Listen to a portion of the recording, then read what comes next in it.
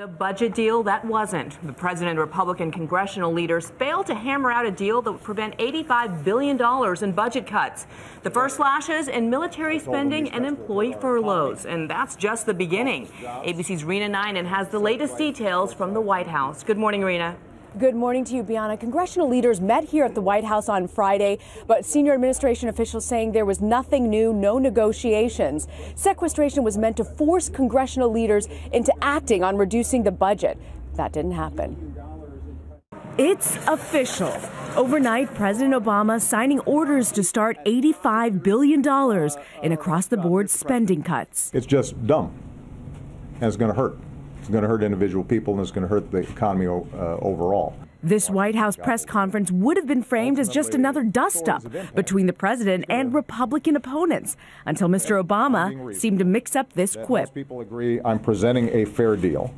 The fact that they don't take it means that I should somehow do a Jedi mind meld with these folks and convince them uh, to do what's right. For those who didn't catch it, the president seemed to confuse Star Trek's Vulcan mind meld with Star Wars Jedi mind trick. But whether President Obama is really the Vulcan in chief, most illogical, or the Republic's first Jedi, these cuts will do anything but bring balance to the force. Right at midnight tonight, we will begin curbing training for units. And as early as Monday, some federal employees could be beamed down on furloughs. Help me, Obi Wan Kenobi. You're my only hope. Many experts believe the dark side hasn't won out just yet. The feds are fighting off the direst consequences, like airline backups due to fewer air traffic controllers. An FAA official estimates furloughs won't begin until April. Republicans say the president won't cut entitlements. It's about uh, taking on the spending problem here in Washington. While the president says he can't just go Darth Vader on the other side. I am not uh, a, a dictator. I can't have Secret Service block the doorway. As for the sci fi mix up, the White House sent out this tweet poking fun, and the man who played Mr. Spock, Leonard Nimoy, tweeted, Only a Vulcan mind meld will help this Congress. The next budget deadline comes in just a matter of weeks. Dan?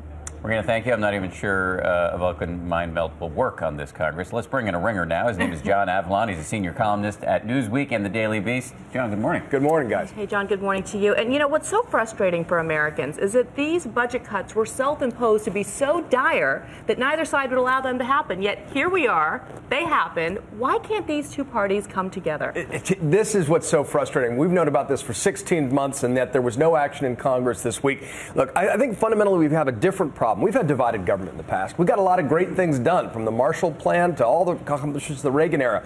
What's different now is the parties are so polarized that there aren't the kind of conservative Democrats or progressive Republicans that used to exist that could form coalitions when there was divided government. So you have this kind of gridlock, you have the stalemate, and the American people are paying the price literally today. But what about the argument that these budget cuts are a good thing? Everybody agrees the American government needs to tighten its belt, and this is a start. Right. The problem is that, as Bianna said, these were designed to be so dumb, so painful, such broad, deep cuts that it would compel Congress to be smart and find a way to work together. There is it, it's the old scalpel versus machete metaphor. It's overused, but there's a rationale to it. We do. There are places we can cut. We should cut inefficient programs. These broad, deep cuts end up affecting some programs disproportionately. Ends up cutting things that work, as in along with things that don't work. And that's why everyone in Congress says they don't want this to happen. But here we are, paralyzed. And and what we have is a high stakes political game of poker. The question is who's going to blink first and come up with a grand bargain, which is what we really need to deal with our deficit and debt. All right. Sorry, John Avlon, who knows uh, if that grand bargain will ever be struck, but we Let's appreciate hope. you coming on. Thank you very much. Thank you, Thanks. John.